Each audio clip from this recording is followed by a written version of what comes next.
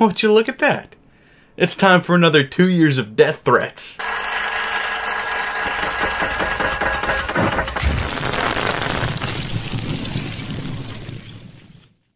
Hello, welcome back to Simon's Rants. I'm Simon, and today I'm going to be talking about why Stan Lee, the documentary, sucks. Now, yes, I'm aware a few years ago I made a video titled Why Stan Lee Sucks, and it was quite the video. Uh, at first it didn't get a whole lot of views and then Stan Lee died and for the next two years after that I was given death threats, told to kill myself and many other terrible things for about two years. I had to turn comments off on that video and was still getting those same death threats on other videos because they would leave that video and go there. So I am not going to turn off comments this time. I'm also not going to turn off likes and dislikes. I'm just going to say this. If you are pathetic enough to tell me to kill myself over some person you've never met just because he supposedly made some comic books you really liked, you're a loser. And that stands for itself. So if you want to comment that,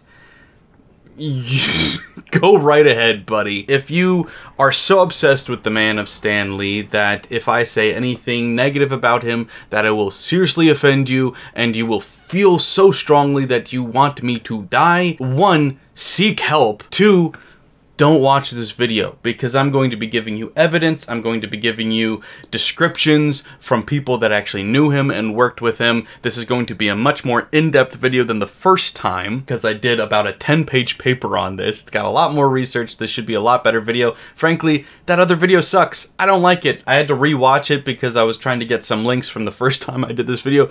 That was cringy. Hated that video. But this video should be hopefully a lot better, uh, even if my Spider-Man t-shirt doesn't fit quite as well as it used to. But uh, yeah, this should be very informative, very educational for a lot of people. So if you want to be informed, stick around. If not, go kill yourself or something. Okay, thanks. On with the video. So I do want to get into why Stan Lee, the documentary itself, sucks. But first, I think I need to explain why Stan Lee, the man, sucked. I think the best place to start with Stan Lee is that he likes to call himself the co-creator, or sometimes, depending on when you catch him, the sole creator of Spider-Man. In fact, the only reason he doesn't call himself the sole creator of Spider-Man is because there was some legal trouble with Steve Ditko, the other creator of Spider-Man. Steve definitely felt that he was the co-creator of Spider-Man and that was really, after he said it, and I saw it meant a lot to him, that was fine with me. But do you yourself believe that he co created it?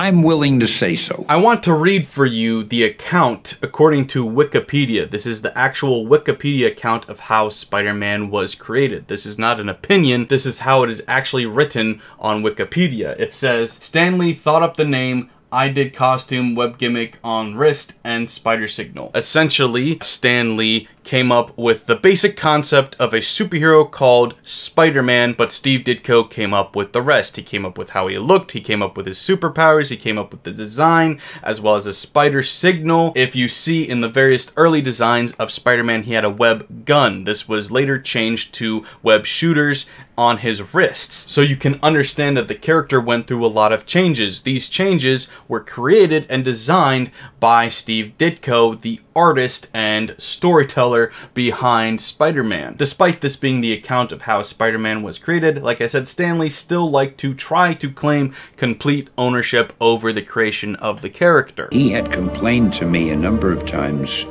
when uh, there were articles written about Spider-Man which uh, called me the creator of Spider-Man and I had always thought I was. Which brings me to the second part of this video, that Stan Lee himself didn't actually really create any of his characters. This account that I just laid out of how Spider-Man was created was the norm for how Marvel created most of their characters. It's actually even called the Marvel method. Stan Lee would come up with the basics for a character, usually the name of the character, maybe some superpowers, and the basic outline of a story. He would then give that to the artist, who would then create the look and feel and design of the character, and then flesh out the stories by making the drawings and penciling in suggestions for words. From there, Stan Lee, if you wanted to change anything to the dialogue, could. But if you believe Alan Moore, he didn't. Having seen Jack Kirby's pencils, um,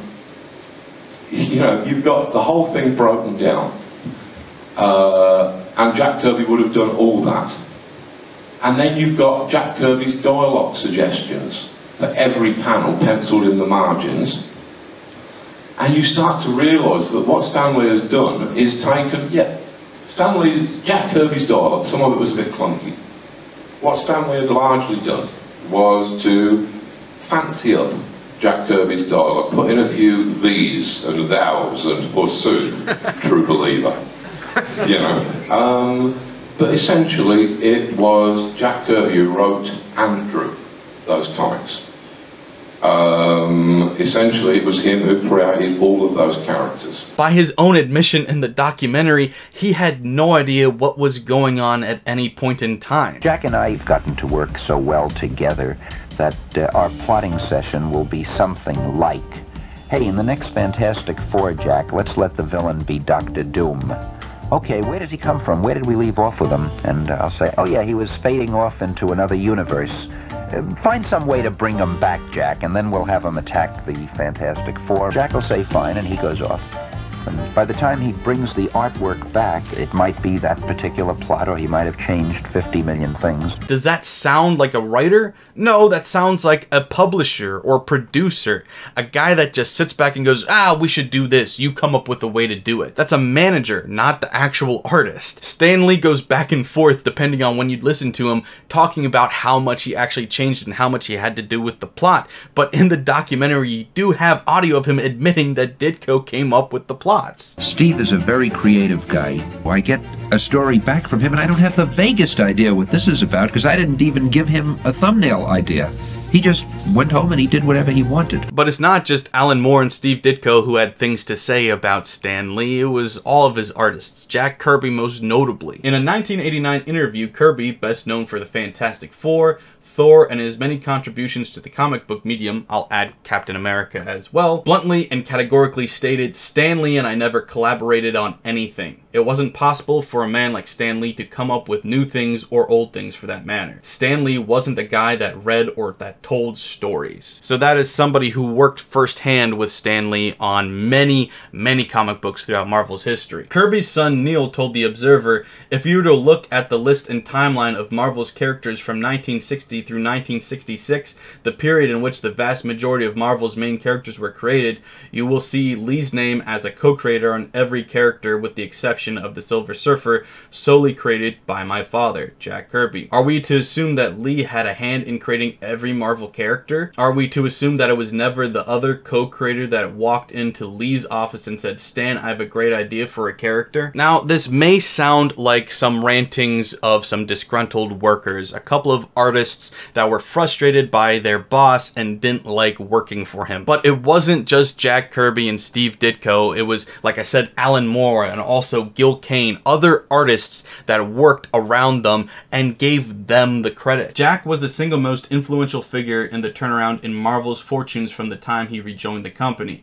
It wasn't merely that Jack conceived most of the characters that are being done, but Jack's point of view and philosophy of drawing became the governing philosophy of the entire publishing company, and beyond the publishing company, of the entire field. Marvel took Jack and used him as a primer. They would get artists and they taught them the ABCs, which amounted to learning Jack Kirby. Jack was like the Holy Scripture and they simply had to follow him without deviation. That's what was told to me. This is a guy who worked for Marvel, and he is saying first account what happened to him. By Stan Lee's own admission in the documentary, he says, We were up until that point just doing what everybody else was doing. We were just publishing what everybody else did. If Western books were good, we published a thousand Westerns. If romance books were in, we published a million romance books and so forth. We just followed the trends. It was when Jack Kirby came back on board after leaving Timely Comics, which then later became Marvel Comics, things began to work better and comics began to sell and really blow off the roof. Now, you may be thinking, okay, so these guys did create some of the characters, but Stan Lee was still a creative force behind that. Okay, maybe, but Stan Lee had complete creative control from 1941 through 1958 without any notable works being introduced. It wasn't until Kirby returned in 1958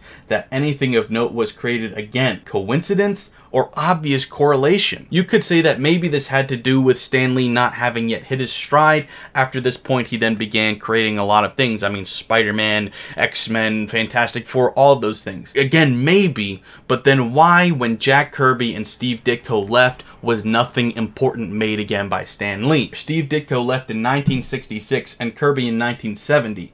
Between 1966 and 1972, when Stan Lee stopped writing. The only notable characters created by Stan Lee were the Silver Surfer, which earlier was solely credited to Jack Kirby, but now is co-created by Jack Kirby and Stan Lee. The Abomination, which was co-created by Gil Kane, Black Panther, which was co-created by Jack Kirby, MODOK, which was co-created by Kirby, and Captain Marvel and the Falcon, who were co-created by Gene Colan. After Jack Kirby and Steve Ditko left, Stan Lee didn't create anything. So is this, like I said, coincidence? Or is this an obvious correlation between who was really making these characters and who was just putting his name on them because he was a publisher and editor? Technically, he was helping write these stories because he might go in and change a word or two, or he might have some say on how the plot went, but he wasn't writing it. But because technically he had some influence on it, he could say that he was the creator. He could say that he was the co-writer and co-creator and publisher of these stories, and so he did for every character that Marvel created while he was the head writer. Do you think he really was creating all those characters, or do you think that he was just taking advantage of the system? Now, I understand it's quite a serious claim to say that Stan Lee was lying about all these things. He said he made them, so why shouldn't we believe him? Well, because he's been caught lying about a lot of things. Don't believe me? Here is a list of the things he lied about. When the original Captain America film was being ready to be made, it was credited as Stan Lee's character Captain America. Captain America was created when Stan Lee was only 12 years old. He had nothing to do with that character at all. The Human Torch is thought of as one of Stan Lee's precious Fantastic Four creations, but he was first seen and popularized in 1939. He was one of Marvel's, at the time Timely Comics, most popular characters throughout the 40s. He was only just reintroduced and adapted by Stan Lee years later to better suit his Fantastic Four storyline, despite Stan Lee's claims that he created the characters. I came up with four superheroes I called the Fantastic Four. Stan Lee also claimed we started saying, hey, wouldn't it be fun if we, you know, had a green skinned monster and we call him the Hulk? Wow. When the original Hulk was gray, it was only through misprinting and running out of ink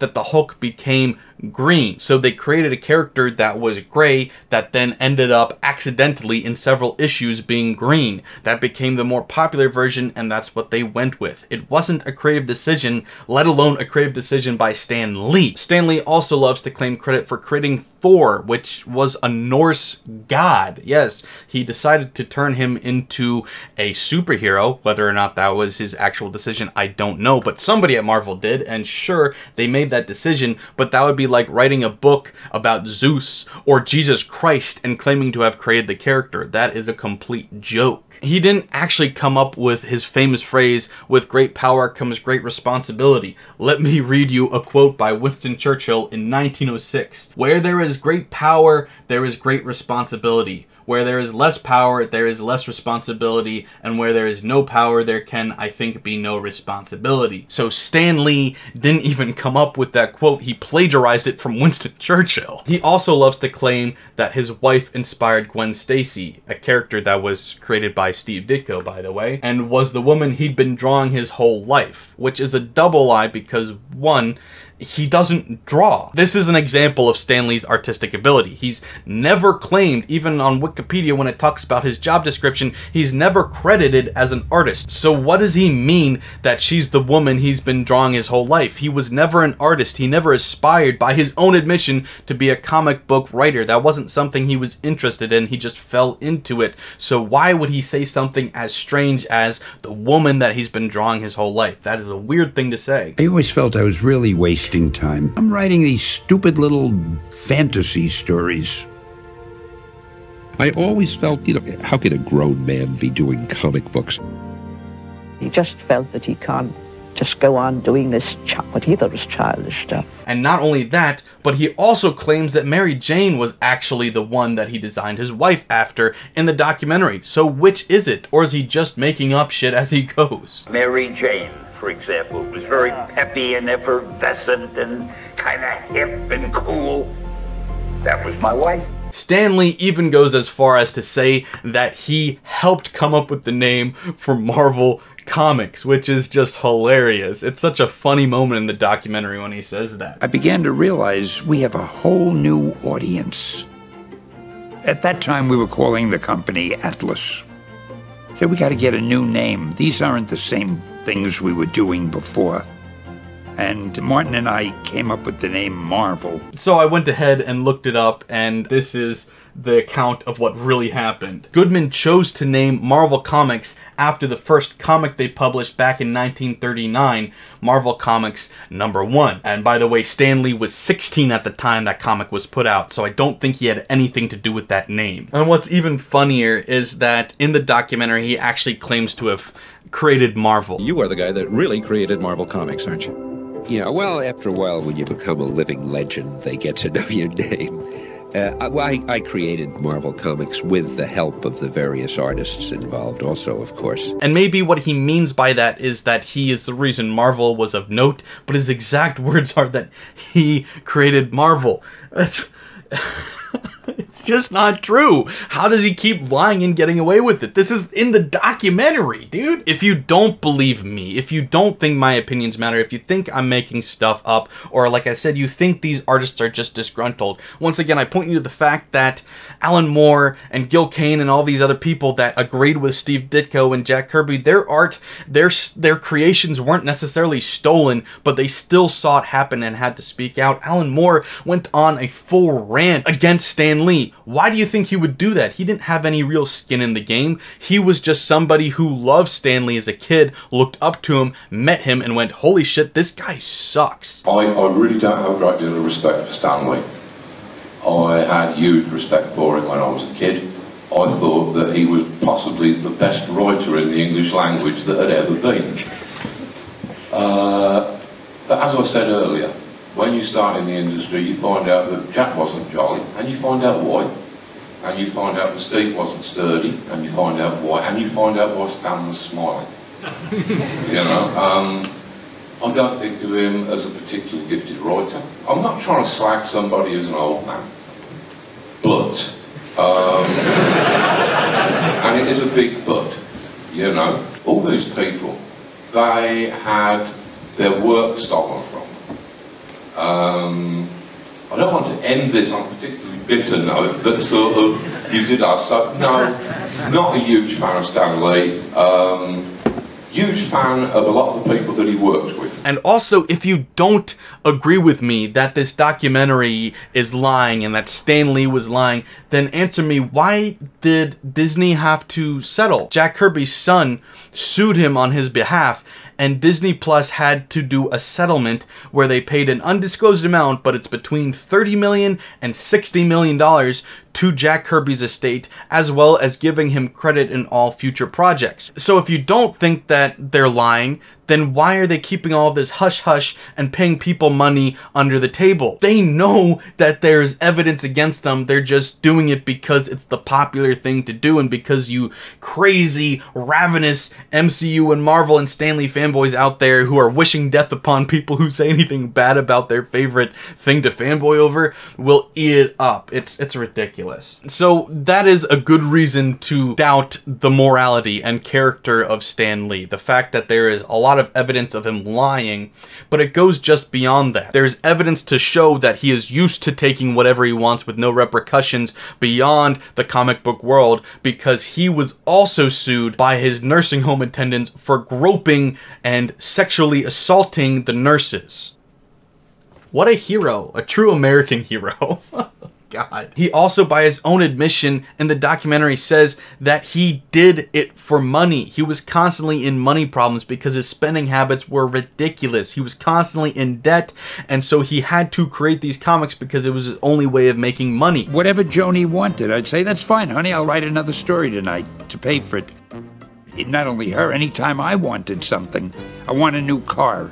Okay, I'll write a couple of stories that'll take care of the down payment, and I'll keep writing stories every time the payments come due. He was creating out of necessity, not out of passion. He, by his own admission, said that he thought comic books were a waste of time and childish until all of a sudden he started getting a lot of money for it. And all of a sudden now, oh, you know, maybe this isn't such a waste of time. That really sounds like somebody who's passionate about what they're doing and definitely just doesn't care about the money. Absolutely. I will also just say that it's very clear that his ego was massive. I'm embarrassed to say this, but I think I'm my biggest fan, he says charmingly with absolutely no shame. I'll look through some of the old issues and say, gee, this is wonderful. Did I really write this? And one, that sounds like an admission of guilt, like he doesn't remember these stories because he didn't actually come up with them. And two, he has the biggest ego ever. He is his own biggest fan. He's a celebrity to himself.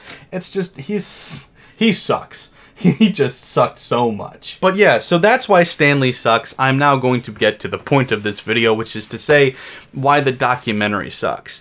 And the reason the documentary sucks is it's not really a documentary, it's a puff piece about Stan Lee. Everything in this completely ignores all controversies, the controversy he had between him and Ditko, between him and Jack Kirby, in all situations. It glosses over it, makes it pretty, makes him the good guy.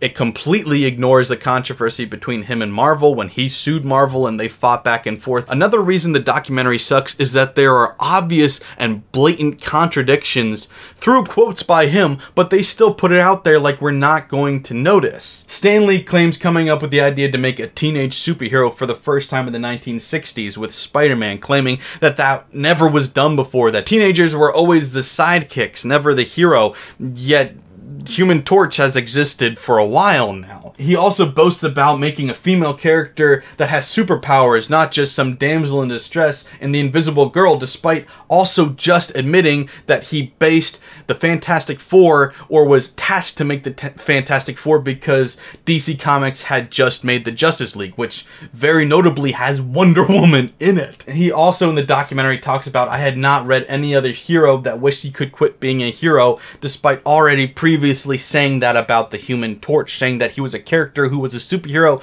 that didn't want to be one. You could also argue that the Thing was in the same boat where he didn't want to be a hero, he just kind of had to be. And once again, in the documentary, they use this quote by him where he's talking about how doing crossovers in comics books was this great new idea when once again, the Justice League had been around for a long time, which took characters from different comic books and put them together. Batman, Superman, right there two different characters from two different comic books being put into a series of comics together. That is a crossover. He didn't come up with that concept. It's just absolutely insane that there's so many contradictions, wildly false claims, and sugarcoating that all went into this documentary, and it's like they don't even notice. They're just saying this bullshit, uh, parroting this bullshit from him, and just going, well, it's all obviously true. It's Stan the man. We love Stan, and it's it's terrible. It's an awful, one-sided, biased, terrible documentary that doesn't even attempt to get into the nitty-gritty of anything. It's just very clearly on one side,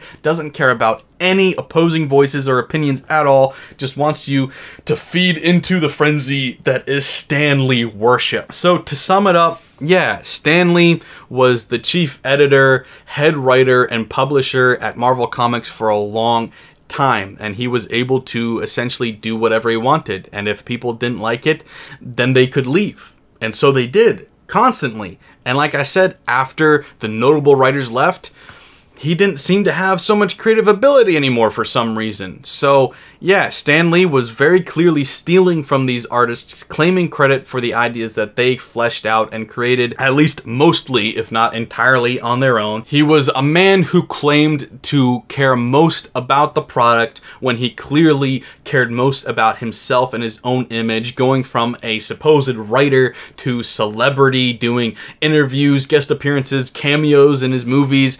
He very clearly cared more about that and the money, the image and the gold than actually creating characters that people would love and care about and relate to. Despite all of his claims opposing that, that is clearly what he was doing. Stan Lee was a fraud, a hack, and a thief that somehow convinced everybody that he was the golden child of comic books who could do no wrong. Fuck Stan Lee. Yes, I know he's dead. I think it's been long enough now. By the way, like I said, I didn't say shit about him when he died. I said it before he died, and then you guys got mad after telling me you should show some respect. Okay, well, I think it's been enough time. It's been a few years, so I'm gonna say it. The guy sucked. He was terrible.